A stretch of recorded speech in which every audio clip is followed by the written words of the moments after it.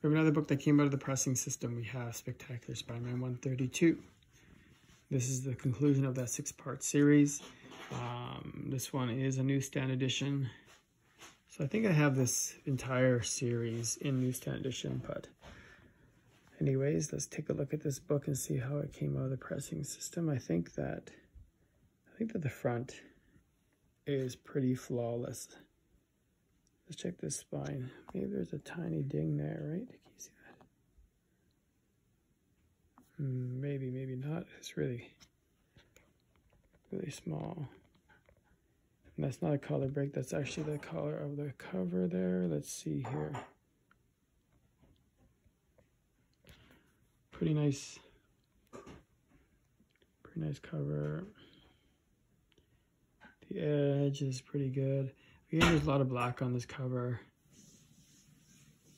So if there was a crease or something, or even some finger indent sometimes can break color.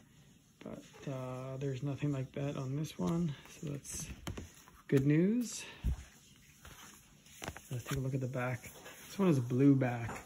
Sometimes this blue back, I always find that the color is faded or it's scuffed a little bit. But this one's pretty nice, but let's take a look. There's a, some, a little bit going on there. Can you see that? The top edge. So look, look at it from straight on. So you can see that there's a tiny color break there, right? Just gonna go along this top edge some more. It looks like there's something going on there too.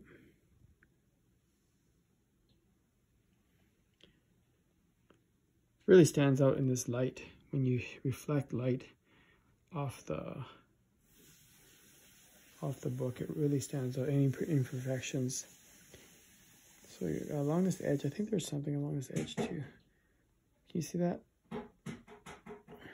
So you look straight on, not too bad, but you, you can see the, there's something going on there.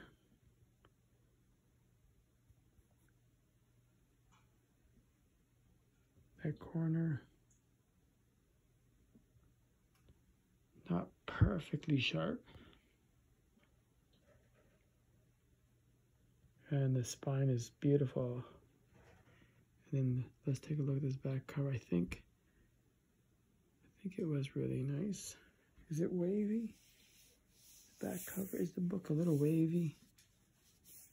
If it is, I'll have to press it again, but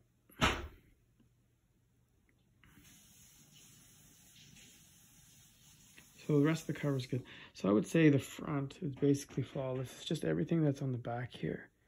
Right there. And then at the very top over here. So what do you think this is going to come back at? Wow. I think this is going to come back at a 9.6. I was really hoping for a 9.8. But I think it's going to come back 9.6. You think it's going to get knocked to even 9.4 because of those defects? I don't know. Let me know your thoughts. I appreciate it. Thank you very much.